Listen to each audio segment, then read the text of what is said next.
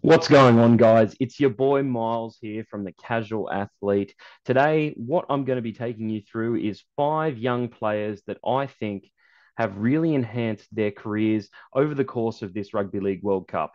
And what a start to the Rugby League World Cup we've had. Uh, we're into week three now, and the competition's only heating up, and I can't wait for the finals and semis. It's going to be an absolute blast. So keep watching. Uh, if you want any more rugby league content, we're definitely looking to uh, help out and and give you guys the stuff that you need. So leave a like in the comments or uh, or make a suggestion on videos that you'd like to see. But for now, let's get into our video, starting with Siua Wong. So Siua Wong is a Fijian international. He's only 19 years old and signed with the Roosters when he was 14. Now, the bloke is an absolute beast. Uh, plays second row, and you know he started for Fiji in all of their World Cup games so far, and he's thoroughly impressed me. Um, you know, consistently runs over 100 meters, makes his tackles, and, and runs a good line. Um, there's no uh, real kind of way to to describe what he can be, but what I'd like to see is him get you know, a bit more first grade experience or even reserve grade experience. He's only played 10 games for the North Sydney Bears and he's just 19. So um, I think moving into 2023 for Siua Wong, um, he'd probably be looking to build on the career that he kind of started in reserve grade last year and potentially push for, you know, that uh, that starting spot in the Roosters side. When you've got guys like uh, Angus Crichton and Sitili Tupouniua coming back from injury. They also plugged Nat Butcher into there um, for a long period of last year. So I think Wong, what he provides is that young exuberance. You know, he's a live wire out on the field. You, you don't really um, know what he's going to do in terms of, uh, you know, from an experience standpoint. But I think that's an advantage for, for Siua Wong. Um, you know, having grown up through the Roosters, you know, junior system, they train their players very well, and they're very good at poaching young players from uh, other clubs and and and other uh, junior systems. So they've signed this guy for a reason.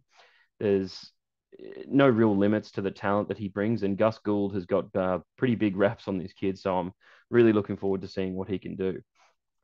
Next up on our list is Isaiah Katoa. Now, this guy is actually the youngest on my list here uh, of five. He's only 18 years old. Like, he's an outstanding player. And I think, you know, what, what was highlighted from Isaiah's potential that we saw in SG Ball this year, he obviously kicked the winning field goal in, in their uh, in their win against the Knights. And, you know, a lot of people saw that. And because it was such a long game, it went for over 90 minutes. And uh, the you know the play was outstanding from both teams. Isaiah's just signed a three-year deal with the Dolphins, and what I'd like to see with Isaiah, I think he might get that six jersey or seven jersey. It'll depend on you know whether Milford or you know one they want to go with a combination of Milford, maybe Kodi Nikorima is also there, so he could you know potentially slot into the halves as well. But I just think this kid's an absolute gun. Uh, there's no real way to describe it. He's got excellent footwork, great decision making, and he you know has a kick in him as well, which is unheard of for a you know young 18 year old half.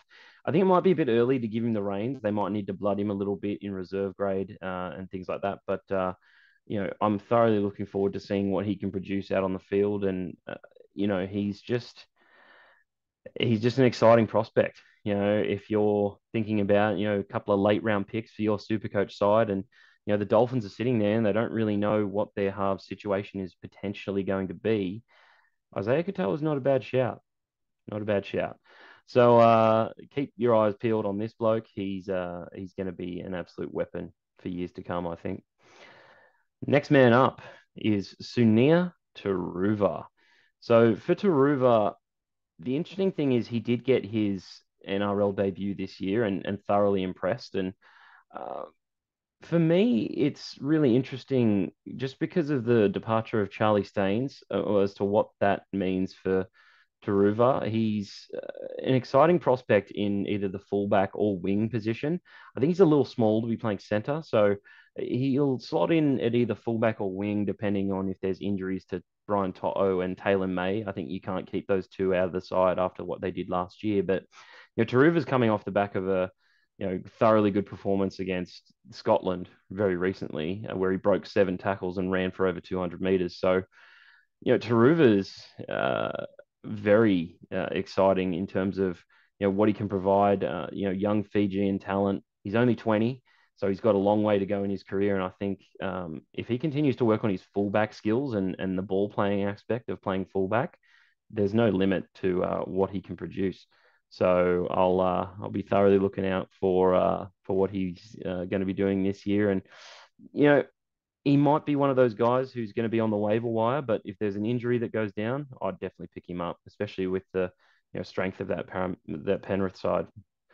So moving on, we've got my boy, my new town jet boy, uh, Kayal Iro.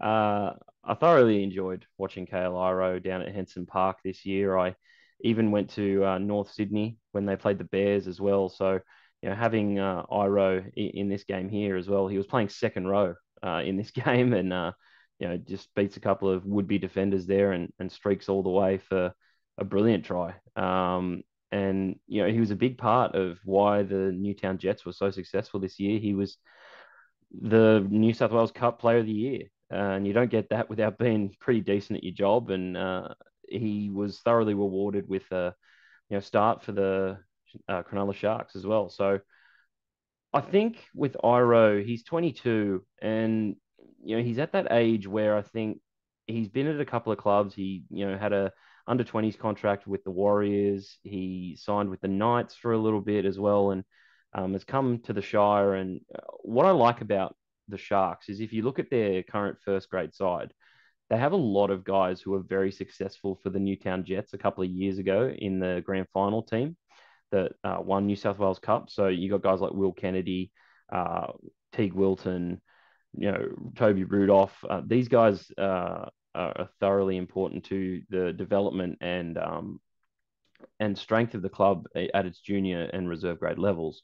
And you know, with Iro, he's such an exciting prospect. He's a pretty big big boy at you know 94 kilos, six foot two. So uh, I'd be pretty scared to be facing up against him every week on the either the wing or um, center. But he's for the Cook Islands in this World Cup. He's been playing at fullback as well, and you know we saw Will Kennedy go down with a few injuries this year, but they've got such a great plethora of options at fullback, and you know guys like Lockie Miller slotted in there. They've got you know Kade Dykes, I know, has just re-signed as well. So um, you know keeping those guys on the roster um, who, and who are even playing at the lower levels in reserve grade, uh, having those guys in your setup is going to be crucial. And we, we saw it play out this year for the Sharks when Kennedy went down. So, you know, Iro there is just another option. It, it's tough to see where he's going to fit in because with Katoa coming back and Ronaldo Mulitalo being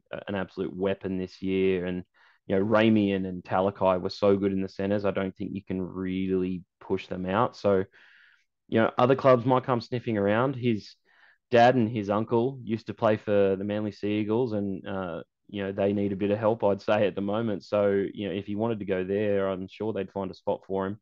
But um, yeah, Iro has just been outstanding in this World Cup. He consistently runs for over 100 and 150 meters. It's uh, it's a sight to see, and breaks tackles for fun. I, just love the way the guy plays. He's got speed, he's got strength, and um, I think he'll be a first grade player, that's for sure, in 2023.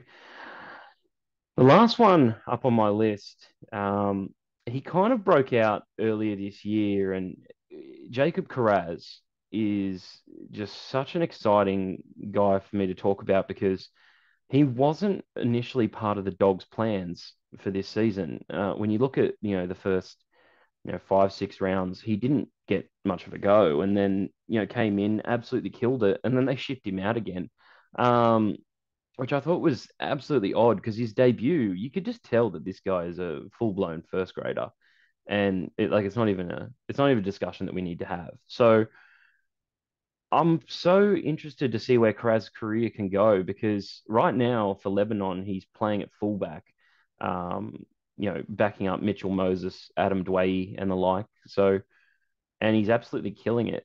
And with the Dogs, when you look at them moving forward, do we know 100% who their fullback's going to be?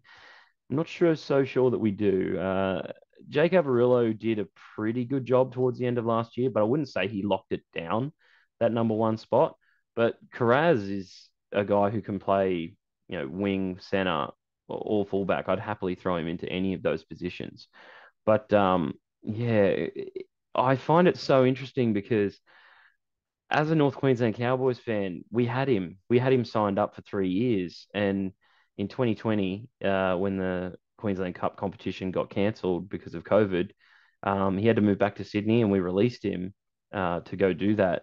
Um, but I would have loved to keep him up at uh, North Queensland because he's just an absolute ecstatic talent, and you you could tell from a young age. I mean, when he came in to that Lebanon side at the 2019 Nines World Cup, he was 17 at the time, and unfortunately, you know, got disqualified because of it. But the guy just wants to play footy, and if that didn't tell you that he was willing to, you know, try and bend the rules to do what he could for his country, and you know, just go out there and you know try and do the best he could for them, and you know, we saw it earlier this year with his tackle breaking ability. He's fantastic in the air and makes good decisions. And he, what I like about Kiraz, eh, and a, it's a common theme with a lot of young players that come into the um, come into the game, like Joe Ali. um, they back themselves and they're not gonna,